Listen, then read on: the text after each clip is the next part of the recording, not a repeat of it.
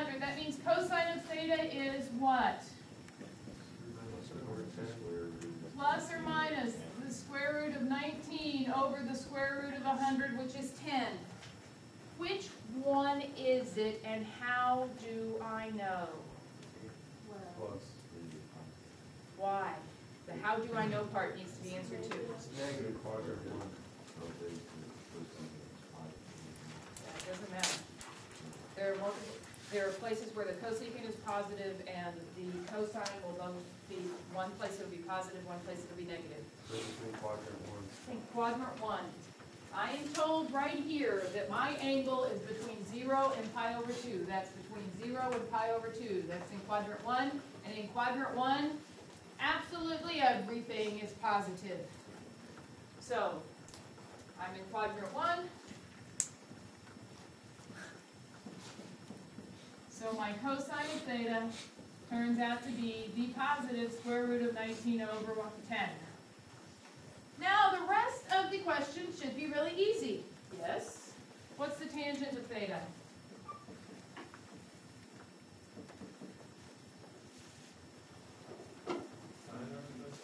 Would be the sine over the cosine, so that would be nine over ten over the square root of nineteen over ten, which leaves me with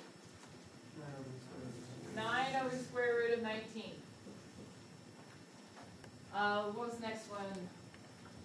Oh, secant was the next one. I don't think I need this anymore.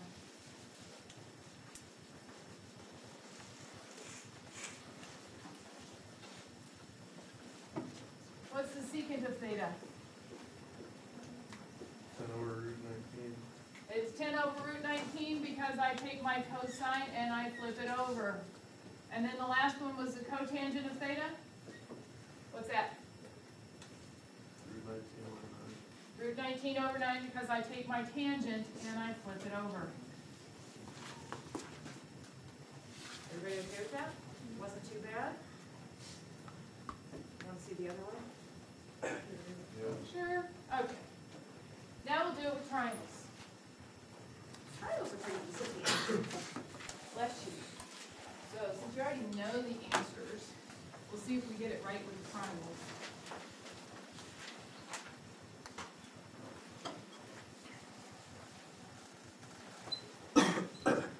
So, we're gonna draw ourselves a right triangle. I never draw my triangles in the coordinate plane. Because people have a tendency when drawing their triangles in the coordinate plane to start labeling sides as being negative. And you can't have triangle sides be negative. So, I just draw my triangle, doesn't matter which way it faces, but I know it's right. Where is my angle theta?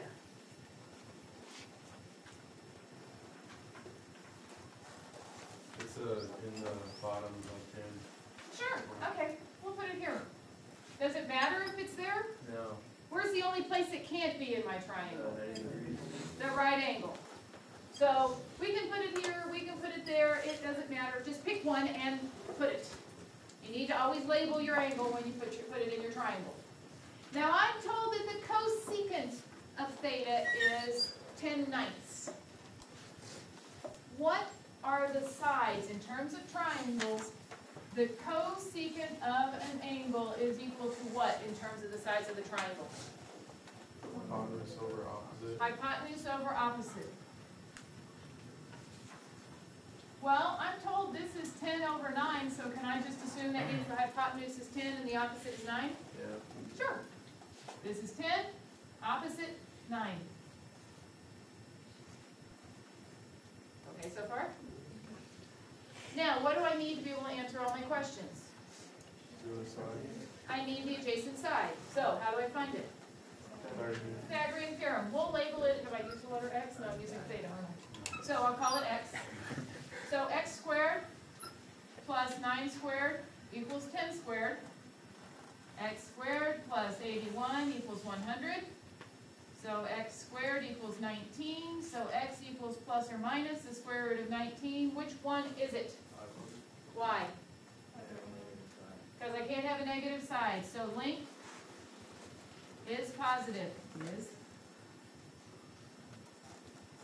So up here, my x is the positive square root of nineteen. So now, when I answer my question of what is the sine of theta, there are two things I have to do. One, I have to put the sides in the right place. What would the sides be?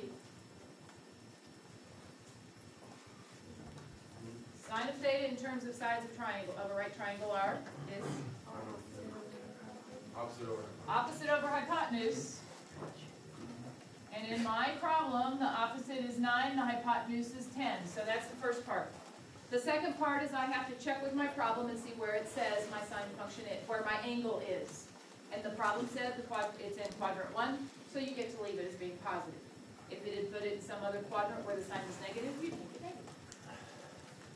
So then I can answer the rest of them doing the same thing. So I can do my cosine of theta. What is that in terms of sides? Adjacent over hypotenuse. And we just got the adjacent side to be the square root of nineteen. So this will be the square root of nineteen over ten. And I should check to make sure that it's what quadrant I'm in so that I know whether to make it positive or negative. You want me to go on? You guys look like you're half asleep. Is it just me? Decided. Well, yeah, I know that. And I know it's parents' weekend. How many of you got your parents coming to visit? Nobody? Oh, we got one, two, we got two, they're sitting in the back.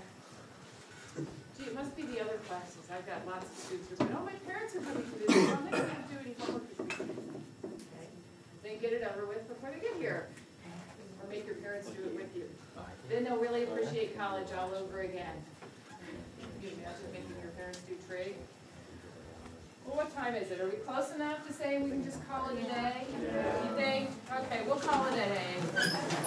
That's.